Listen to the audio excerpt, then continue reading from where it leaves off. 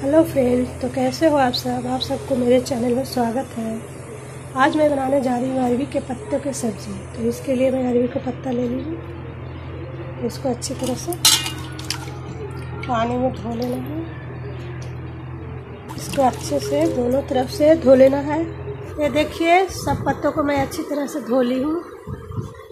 थोड़ा ये पानी निकल जाए, इसके बाद तब तक मैं इधर मसाले तैयार कर लेती हूँ। यह जीरा काली मिरी मिर्ची लहसुन ये है दालचीनी फिर बड़ी इलायची तो दो चार लौंग है ये मैं मसाला तैयार कर रही हूँ ये राई के दाने हैं यानी सरसों के दाने हैं ये ग्रेवी में डालूँगी और कुछ मसाले इसमें से मैं पत्ते में डालूँगी इसके लिए मैं अलग पीस रही हूँ इसको अलग पीस रही हूँ थोड़े से मसाले मैं इसमें पत्ते में डालूँगी तो चलिए मैं मसाला तैयार कर लेती हूँ ये हमारा मसाला तैयार हो गया है ये सरसों का है। पेस्ट चलिए अभी बेसन तैयार करते हैं। अभी लेती हूँ बेसन। ये ले लिए हैं बेसन। इसमें डालेंगे एक चम्मच हल्दी पाउडर। थोड़ा सा मिर्ची पाउडर। थोड़ा गरम मसाला। नमक और जो मसाले तैयार करके रखे हैं, वो थोड़ा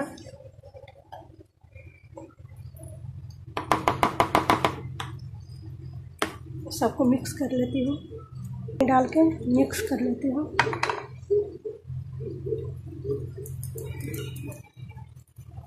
देखिए, मसाला तैयार हो गया। बेसन तैयार हो गया है। ज़्यादा पतला भी नहीं और ज़्यादा थिक भी नहीं रहना चाहिए। ये अभी इसको पत्ते पे लगा के तैयार कर लेते हैं। ये सबको थोड़ा चाकू से हटा देना है। उठा को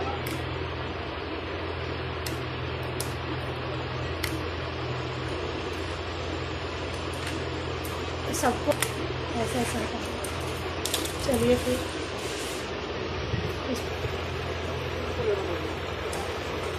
फिर दूसरे पत्ते को इसके ऊपर रखेंगे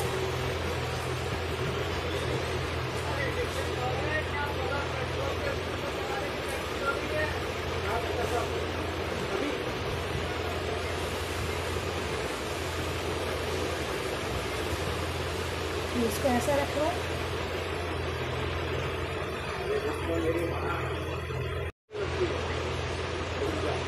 इसको इधर से फोल्ड कर लेते हैं।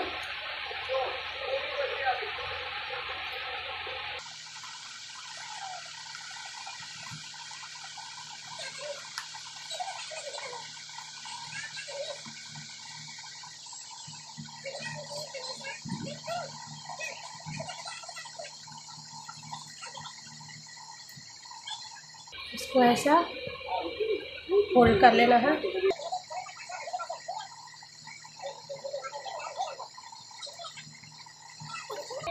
इसके धागे से टाइट करके बाँध लेना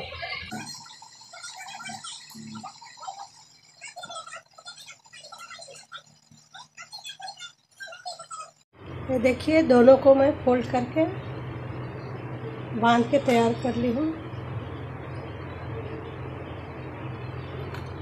इधर पानी गर्म हो रहा है, पानी उबल गया है। मैंने पानी उबालने के लिए रख दी थी, ये उबल गया है। इसमें मैं पेस्ट को डाल दूँगी।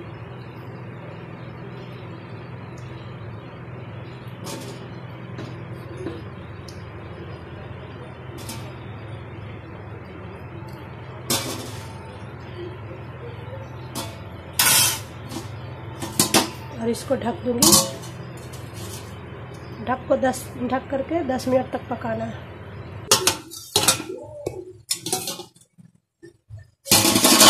इसको थोड़ा पलट लेती हूँ।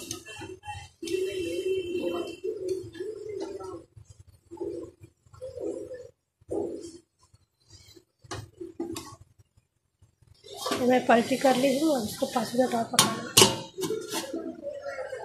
ये पक गया है, अभी इसको निकाल देती हूँ। ठंडा होने के बाद इसको कट कर लूँगी।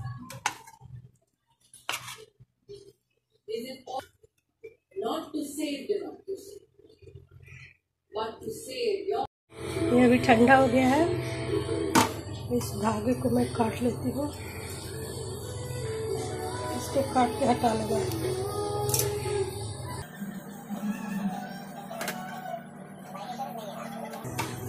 हाथ से नहीं हो रहा है काट के मैं दिखाती हूँ। निकाल कर ये देखिए, सभी धागों को मैं निकाल ली हूँ।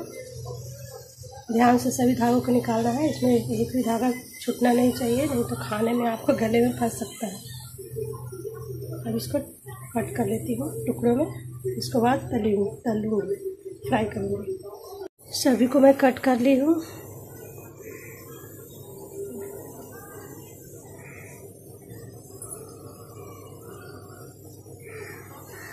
इधर कढ़ाई चढ़ाई हूँ कढ़ाई गर्म हो गया। है इसमें मैं डालू डालूँगी तेल।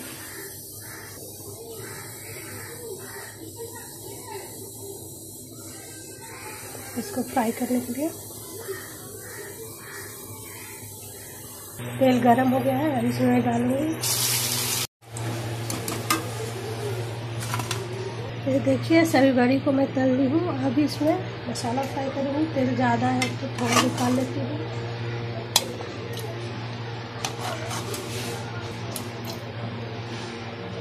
ज़्यादा था इसके लिए मैं निकाल ली हूँ, कम पड़ेगा तो फिर मैं डाल सकती हूँ। तेल गर्म हो गया है, इसमें मैं डालूँगी जीरा। उसके बाद डालूँगी राई।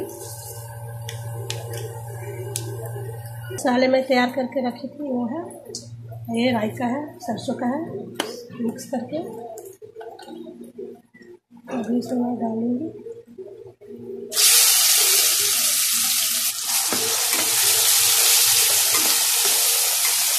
डालूँगी हल्दी पाउडर कश्मीरी मिर्च पाउडर धनिया पाउडर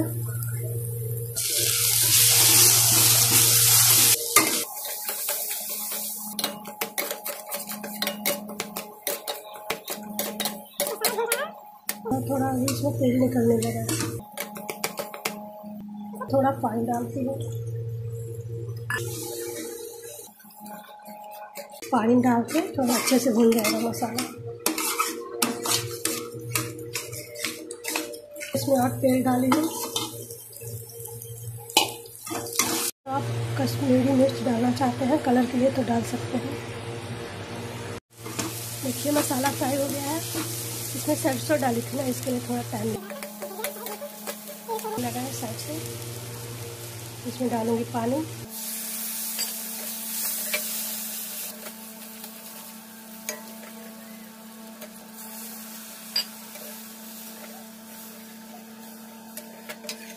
इसमें आपको जितना पानी चाहिए उतना डाल दो।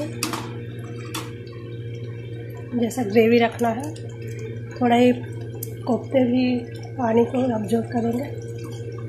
ले लेंगे अंदर। देखिए, मैं इतना पानी डाली हूँ। दो कटोरी डाली हूँ। इससे दो तीन कटोरी डाली हूँ। और सूखेगा पानी। मैं डालूँगी स्वाद अनुसार नमक।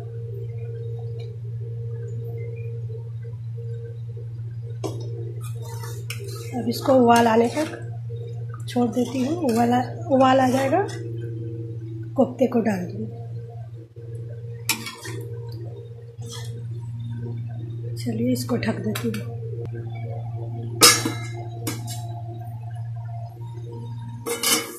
देखिए, पानी में उबाल आ गया है। अब इसमें मैं कोफ्ते डालूँगी। डाल के इसको दो तीन मिनट पकाना है, बस।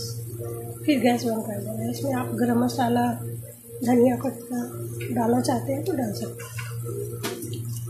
तो चावल के साथ, रोटी के साथ, दोनों के साथ बहुत अच्छा लगता है।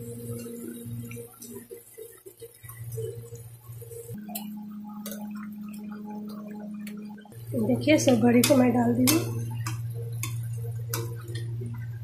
दो तीन मिनट ढक को पका लेती हूँ। ढक करके।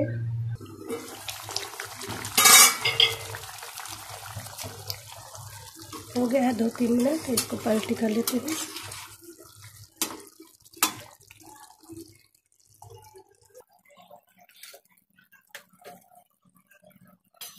पलटी करके एक मिनट और पका हैं ढक कर उसके बाद गैस बंद करते हैं।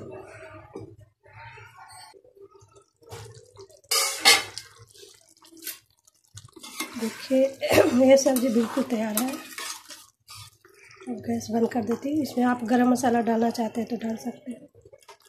मैं गरम मसाले को मसाले के साथ ही पीस देती हूँ, पक्का मसाला को। चलिए, गैस बंद हो गया।